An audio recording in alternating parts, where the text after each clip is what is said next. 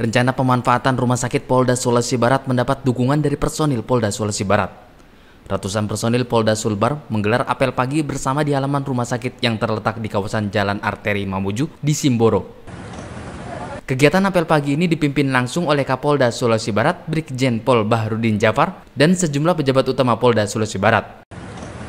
Kapolda meminta agar semua personil mempunyai rasa memiliki gedung rumah sakit Bayangkara yang akan difungsikan 16 April mendatang.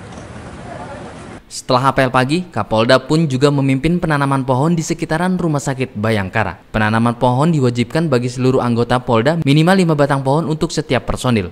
Nantinya pohon yang ditanam tersebut akan menjadi pelindung areal parkir kendaraan dan juga menjadi tempat bernaung para pasien baik dari personil Polda maupun masyarakat umum.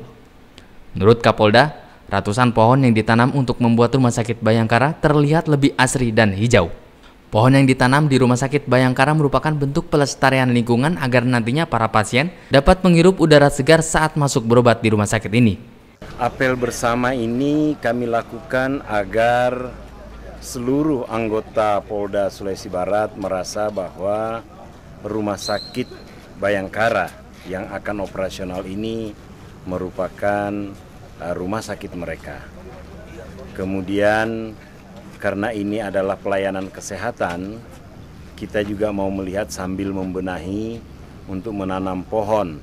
Setiap anggota akan menanam pohon lima pohon yang ditanam sesuai dengan uh, dari Departemen Kehutanan meminta demikian.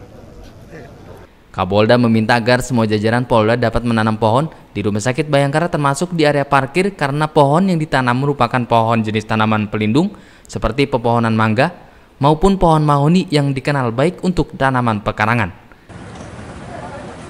Dari Sulawesi Barat, Tim Liputan Tribrata TV, Salam Tribrata.